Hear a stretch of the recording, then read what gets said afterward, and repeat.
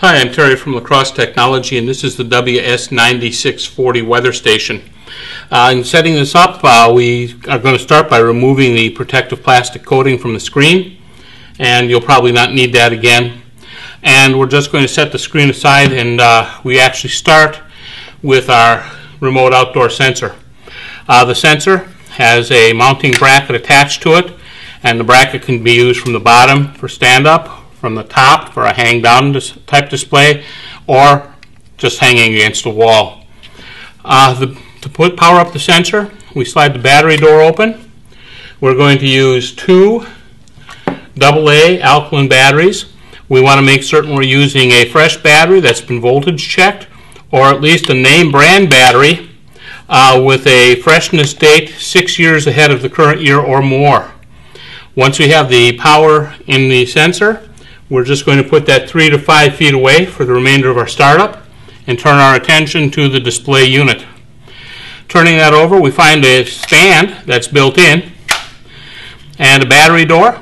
We press the tab on the battery door towards the door and we're going to load this with two AAA batteries.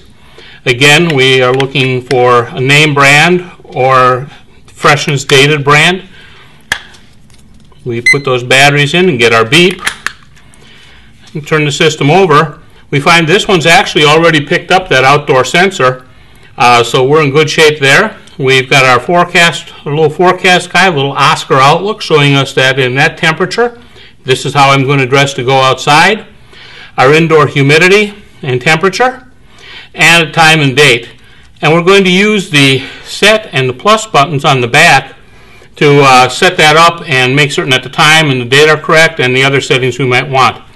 So what we start with is uh, press and hold that set button. And after about five seconds or so, you'll notice we have a flashing icon down here. And this is supposed to be the letter ZO for time zone. Minus 5 is the East Coast. I'm going to set it to minus 6, which is Central Time. You can also go all the way around the world with this unit, knowing your time zone. Pressing set once again, I have DST for daylight savings time. I'm going to leave this set to on if I'm in an area that doesn't have daylight savings time. Uh, Arizona, for instance, I'll push the plus button and set it off. Pushing the set button again, the time is flashing. I can manually set the time or I can wait for the atomic clock to pick up, which will usually be overnight on a clear night. To manually set the time, I press the set button. Each click is going to move it one hour. AM has nothing to the right of the hour. PM has a little PM to the right of the hour. It's a bit after 3 here, so I'll go to 3 p.m. Pressing the set button again. Starts the, sec the minutes flashing. It's 3.55 actually here, so I'm just going to hold that down. It'll count in fives. And I'm going to stop a little before the 3.55 and go one click at a time for my minutes to set that. Pressing the set button again, the year flashes. I'm going to use the plus button to set it to the current year, 2011. Pressing the set button again, I have a flashing month. It is not 12-7. So I'm going to press and release on the plus button until I get to the current month, which is the eighth month. Clicking the set button once again, the date is flashing, and today is actually the 11th, so I'll use my plus button to get there. Clicking the set button one more time says, what is the day? Today is Friday. So I'm going to click my set button until I get to Friday. Pressing the set button once again, I have degrees Fahrenheit. I can use the plus button and set it to Celsius. I'm going to leave it at Fahrenheit though.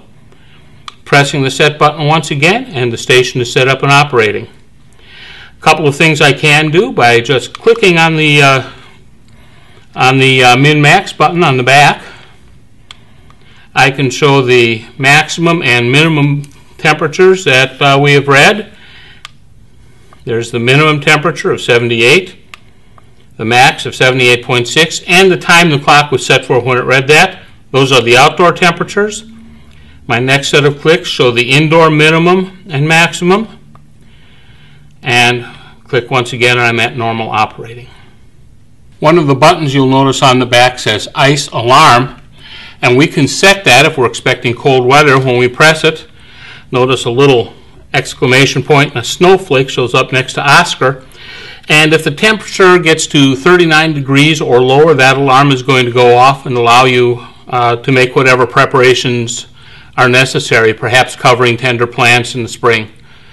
And to turn it off, we just press the same button.